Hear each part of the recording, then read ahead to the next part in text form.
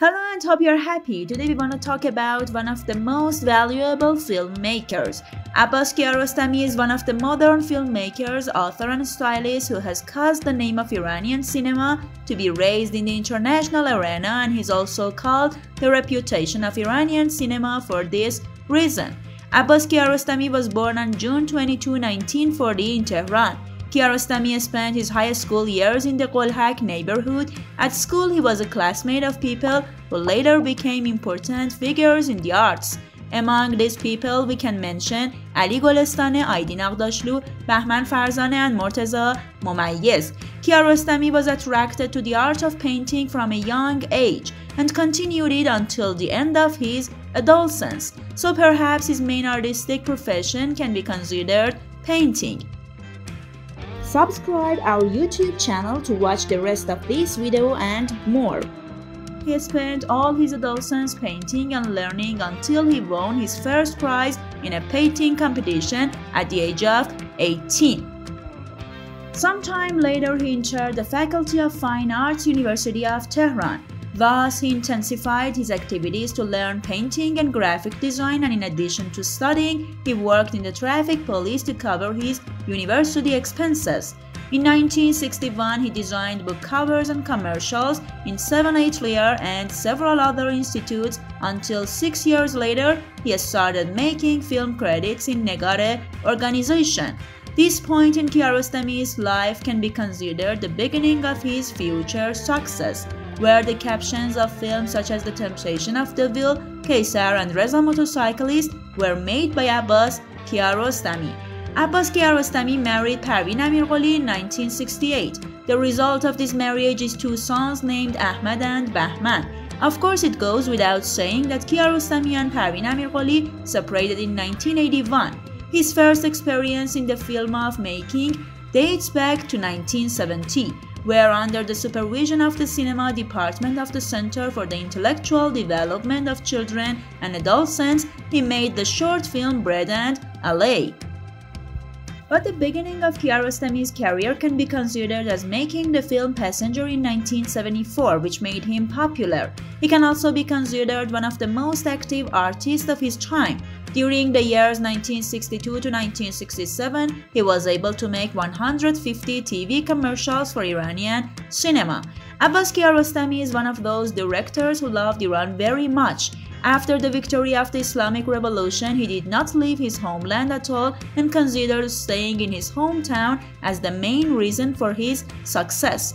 Kiarostami believes that staying in Iran has given him more energy to make his films and he has been able to continue his professional life better than before. This educated artist has a beautiful sentence in this regard, which says, if you take a tree that has roots in the soil from one place to another, that tree will no longer bear fruit. And if it does, that other fruit is not as good as the fruit it can bear in its homeland. This is the law of nature. I think if I had left my land, I would have become just like this tree.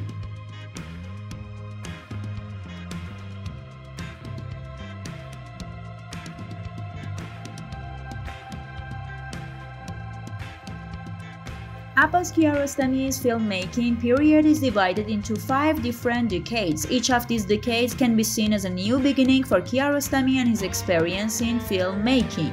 The first period between 1969 and 1979. In order to create and implement a new wave of Iranian cinema, Abbas Kiarostami helped the Tehran Children and Adolescents Intellectual Development Center to create a new section for filmmaking. Therefore, Kiarostami's 12-minute film called Bread and the Alley was made in 1970. Two years later, he made the film Break Time and after that he became the center of a circle to make Iranian films. In this decade, with the peeling of Iranian cinema, Abbas Kiarostami began to make films centered on individualism. After the film experience, Kiarostami made the film The Traveler in 1974.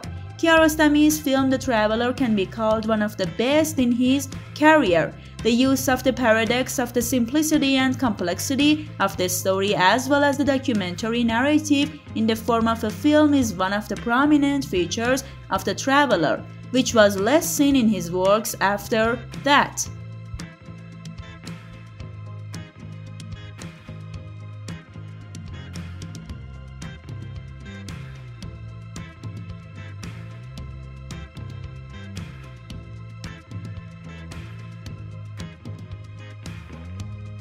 In 1975, Kiarostami directed two short films called I Can and Two Solutions to a Problem.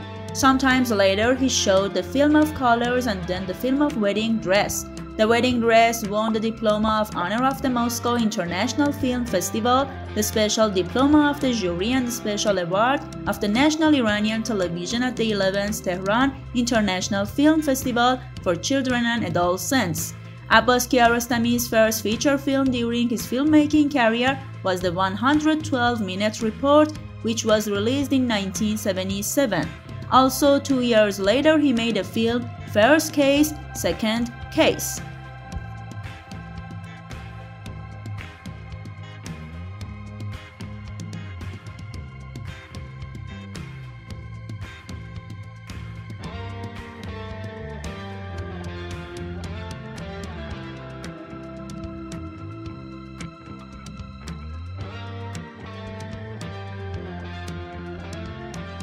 Second period is between 1979 and 1989. At the beginning of this decade, Kiarostami directed several short films, among which we can mention Toothache, In Order or Without Order, The Chorus, and Fellow Citizen.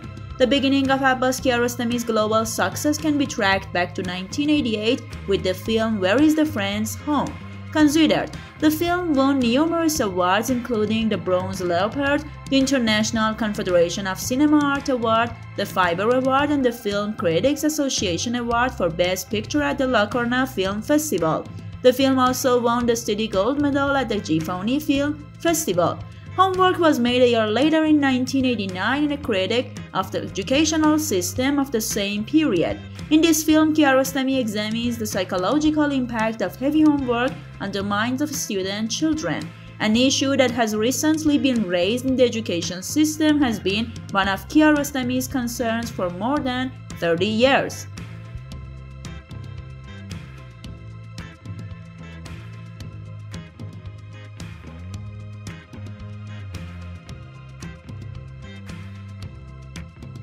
The third period is between 1989 and 1999, the third decade of Abbas Kiarostami's five decades of work in which we see many lasting and acclaimed works.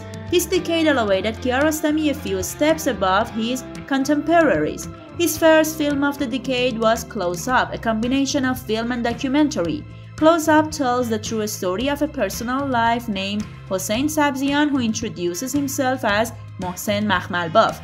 Close Up took another step to make Kiarostami better known outside of Iran. Also, this film was included in the list of the top 50 films in the history of cinema after several years by Sight and Sound magazine.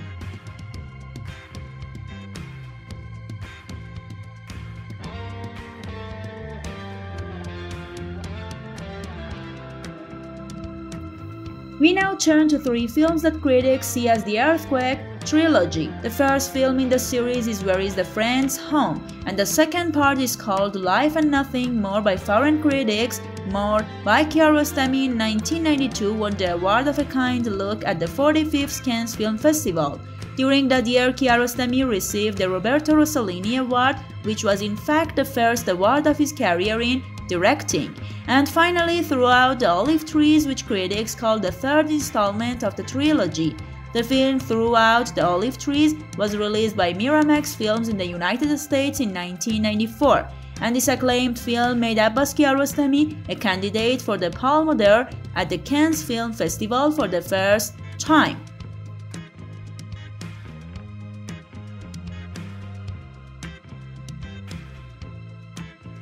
Critics such as Adrian Martin argue the triangle. Each side intends to tell us a separate story. Now in addition to playing with the viewer's mind, these stories connect them. Where in the Where is the Friend's home we witness the events before the earthquake and how we watch what happens to get to the olive groves and the events after the earthquake. Kiarostami's next film was made in 1997 called Taste of Cherry. The Taste of Cherry can be called the most famous work of Kiarostami, the film that won him the Palme d'Or in the same year. It also garnered critical acclaim. Time magazine named this film one of the top 10 films in the history of Cannes Film Festival in 2004. Continuing his success in 1999, Abbas Kiarostami screened the film The Wind Will Carry Us. The film won the Silver Venice Film Award and the Fifth Venice Film Festival and was selected as one of the top 100 films in world cinema by the organizers of the Toronto International Film Festival.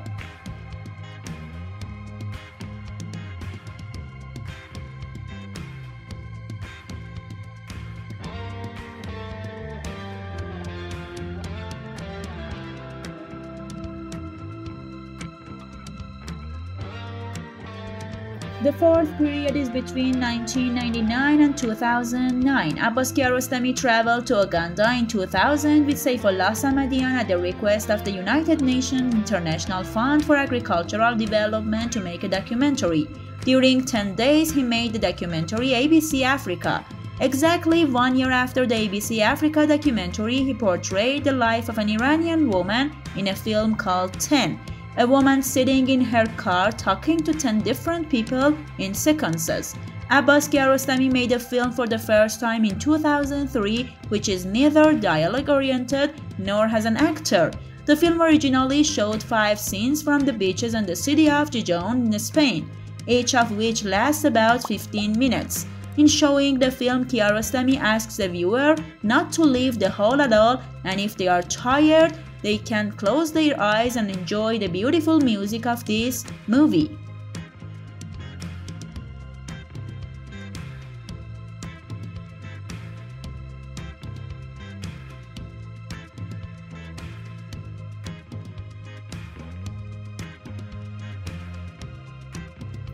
And the fifth period was between 2009 and 2019. Kiarostami's first film was filmed and produced outside of Iran in 2010 under the title Certified Copy. The film tells the story of a French woman confronting an English man. In the same year, Certified Copy won the Cannes Film Festival, and actress Juliette Binoche won the Cannes Film Festival for Best Actress. Like Someone in Love after two years away from cinema, Kiarostami was made in 2012. This film was one of the 22nd film in the competition section of the 65 Cannes Film Festival. Like Someone in Love, he divided Cannes critics into two groups. Some considered it a poor film and some praised it, such as Derek Malcolm and Michael Simon. Some have considered it a delicate pearl in cinema and a contemplative dance along the ambiguous border between fantasy and reality. After recovering from his illness in Tehran, Kiarostami left for France to continue his treatment, but a few days later on July 4, 2016, he suffered a stroke due to a blood clot and died in Paris.